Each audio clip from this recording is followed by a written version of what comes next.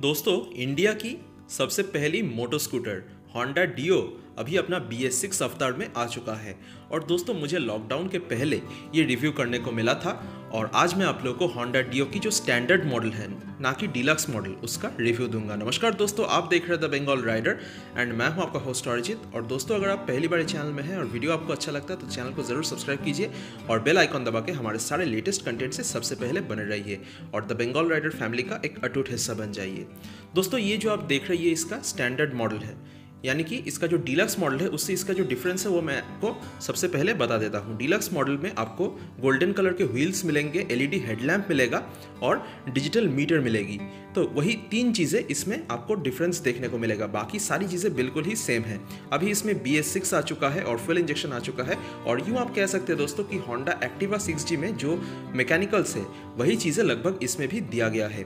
और दोस्तों, अगर हम प्राइसिंग की बारे में बात करें तो अराउंड नाइन थाउज़ेंड रुपीज़ अब पहले से बी एस सिक्स मॉडल में ज़्यादा इंक्रीज़ हुआ है, यानी कि नाइन थाउज़ेंड रुपीज़ लगभग आपको ज़्यादा देना पड़ेगा। दोस्तों, मैं ये वीडियो बना रहा हूँ ऑटो स्मार्ट कोना हावड़ा में, जिनके शोरूम के एड्रेस और कॉन्टैक्ट डिटेल्स आपको डिस्क्रिप्शन बॉक्स में मिल जाएँगे। आप चाहे तो उस नंबर पर लॉकडाउन के बाद कॉल करके ईएमआई डिटेल्स और सारे और भी डिटेल्स जान सकते हैं। और मेरी इंस्टाग्राम आईडी में आ, मुझे फॉलो भी कर सकते हैं। डिस्क्रिप्शन में मेरा इंस्टाग्राम आईडी का लिंक भी दिया रहेगा। दोस्तों सबसे पहले मैं आप लोगों को इंजन के बारे में बता देता हूँ। अभी ये बी एस फोर से बी एस सिक्स हो चुका है तो अभी इसमें फुल इंजेक्शन आ चुका है और पोल्यूशन भी लगभग फिफ्टी टू सिक्सटी परसेंट पहले से कम हो चुका है। दोस्तों अभी पावर आपको zero point three B H P कम मिलेगा और टॉर्क आपको zero point one newton metre ज़्यादा मिलेगा। और पीक आर पी एम जो था वो सब भी इस इंजन में चेंज हुआ है। और अभी इसमें फुल इंजेक्शन तो आ ही चुका है और इसी के साथ साथ ईएसपी यानी कि एनहेंस स्मार्ट पावर और एसीजी साइलेंट स्टार्टर मोटर यानी कि बिना झटके का सेल्फ स्टार्ट वाला सिस्टम आपको यहाँ पे मिल जाएगा। दोस्तों, अभी भी ये एक B S six compliant fan cooled single cylinder fuel injected engine है, जिसमें एच यानी कि होंडा इको टेक्नोलॉजी का जो सिस्टम है वो पहले से आता था, अभी भी इसमें आता है। और इसमें आप देख सकते हो दोस्तों, अभी भी किक स्टार्ट को बरकरार रखा दिया गया है ताकि सेल्फ और किक स्टार्ट दोनों के ही आपको फ़ायदा मिल सके। अब इंजन पहले से और भी ज़्यादा स्मूथ हो चुका है और किसी भी वेदर में वन क्लिक में ये स्टार्ट ले लेगा। दोस्तों, आप देख सकते हैं, यही इंजन के इसके फ़ंक्शंस है। और इंजन आप जैसे ही देख सकते हैं, पहले जैसा ही इसका जो लेआउट है वो लेआउट दिया गया है। अब पहले जैसा स्टार्ट के प्रॉब्लम्स और सुबह स्टार्ट के प्रॉब्लम कोल्ड वेदर में स्टार्ट स्टार्टिंग वाली प्रॉब्लम इन सब चीज़ों से आपको छुटकारा मिल जाएगा। और इसके जो ग्राफिक्स है दोस्तों ग्राफिक्स भी पूरी गाड़ी का अब चेंज हो चुका है। पीछे की जो सस्पेंशन आप देख रहे हैं दोस्तों, ये पहले नॉन एडजस्टेबल था, अभी ये थ्री स्टेप एडजस्टेबल सस्पेंशन पीछे की तरफ़ दिया गया है। और एक बहुत बड़ा जो कंप्लेन था, सामने की तरफ़ स्प्रिंग लोडेड सस्पेंशन आया करता था, अभी इसको चेंज करके इसमें टेलीस्कोपिक सस्पेंशन ऐड किया गया है, जो कि कस्टमर्स का बहुत दिनों से मांग था। और इसमें आप देख सकते हैं दोस्तों, आगे की तरफ़ बड़े 12 इंच के व्हील्स लगाया गया है, जो कि पहले 10 इंच का था। इससे और भी ज़्यादा स्टेबिलिटी आपको मिल जाएगा। वैसे दोस्तों टायर्स का साइज़ दोनों ही तरफ़ में सेम है, लेकिन आगे की तरफ़, जैसे कि मैंने आपको कहा 12 इंच के बिगर साइज़ व्हील यहाँ पे लगाया गया है। फ़िलहाल ये ब्लैक कलर के आप देख सकते हैं स्टील व्हील से। अगर आप डीलक्स मॉडल लेंगे तो उसमें आपको गोल्डन कलर के रिम्स मिलेंगे। दोस्तों, इसी के साथ साथ कुछ माइनर ट्विक्स यहाँ पे बॉडी में आपको देखने को मिलेगा। बहुत सारी जगहों पर आपको कार्बन फाइबर के यहाँ पे फिनिश देखने को मिलेंगे। आगे की तरफ़, जो साइड की तरफ़ अब देख सकते हैं, और डीओ हमेशा से ही यंग जनरेशन की तरफ़ टारगेटेड एक स्कूटर है।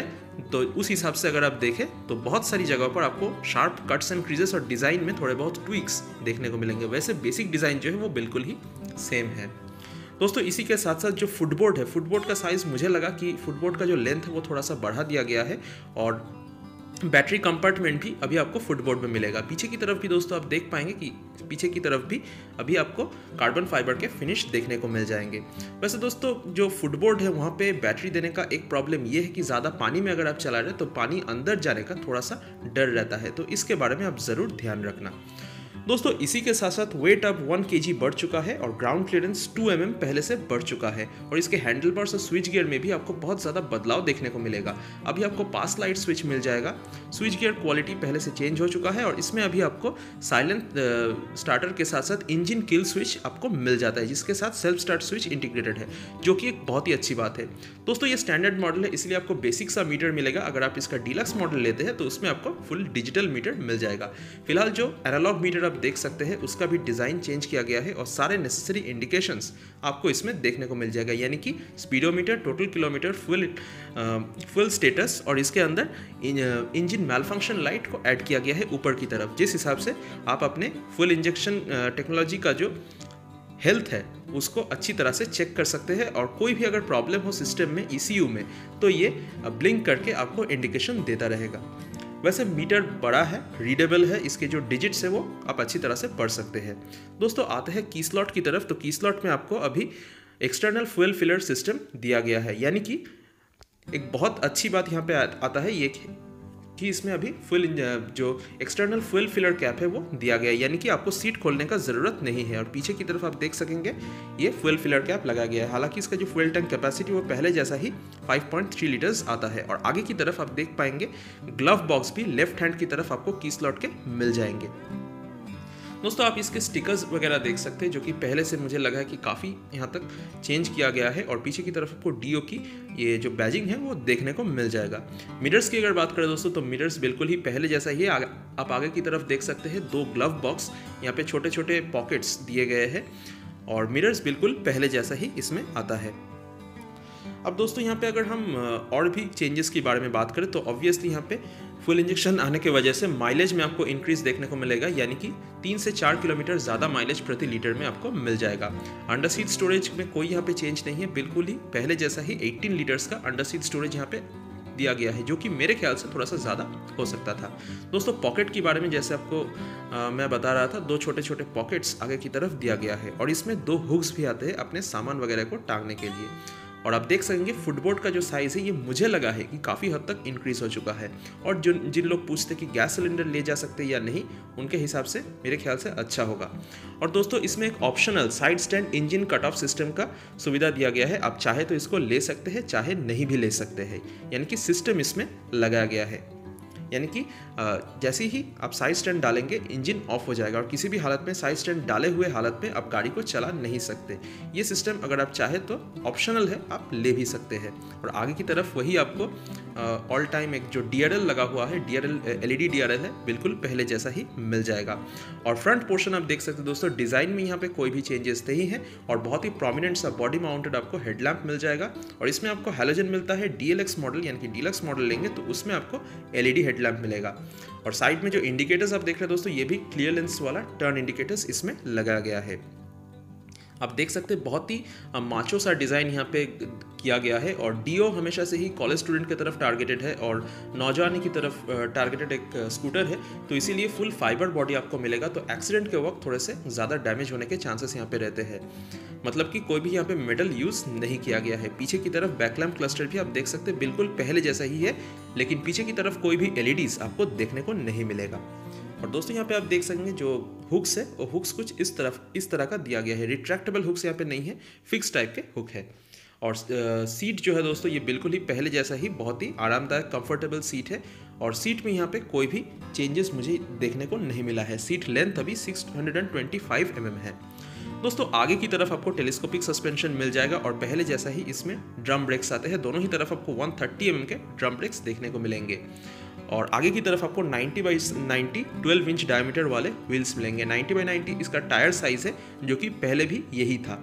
अब इसमें कोई भी डिस्क का ऑप्शन नहीं मिलता है, क्योंकि डीओ इनका एंट्री लेवल स्कूटर है तो इसीलिए कोई भी डिस्क का ऑप्शन आपको नहीं मिलेगा। पीछे की तरफ़ 90 बाई 100 साइज़ का 10 इंच का व्हील जो पहले भी था, वही मिलता है। पीछे की तरफ़ भी आपको ड्रम ब्रेक ही मिलेगा। वैसे ब्रेकिंग मेरे ख्याल से डिसेंट है।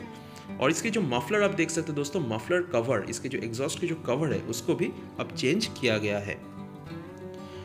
और दोस्तों, अगर हम बात करें ग्राउंड क्लियरेंस की तो 160 सिक्सटी mm इसका ग्राउंड क्लियरेंस है 105 केजी इसका कर्व वेट है, और जो सीट हाइट है, ये 765 सिक्सटी mm है, यानी कि किसी भी हाइट के इंडियन राइडर्स इसको चला सकते हैं। और लेडीज़ के लिए भी ये स्कूटर बहुत ही परफेक्ट स्कूटर माना जाता है। और दोस्तों, अगर हम इसके माइलेज के बारे में कहें तो forty six to fifty kilometres या फिर फिफ्टी के ज़्यादा भी आपको हाईवेज पर मिल सकता है। और ओवरऑल अगर परफॉर्मेंस की बात करें तो परफॉर्मेंस यहाँ पे बहुत ज़्यादा कुछ आपको अंतर देखने को नहीं मिलेगा क्योंकि बहुत ही माइ माइन्यूट चेंजेस यहाँ पे इंजन के पावर और टॉप फिगर्स में हुआ है।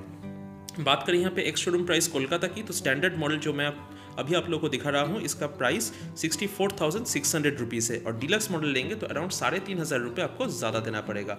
और होंडा के आफ्टर सेल सर्विस भी बहुत ही अच्छा है इंडिया के अंदर। तो दोस्तों वीडियो कैसा लगा ज़रूर बताइए। शेयर कीजिए इस वीडियो को अपने दोस्तों के साथ। Thank you thanks for watching and always ride safe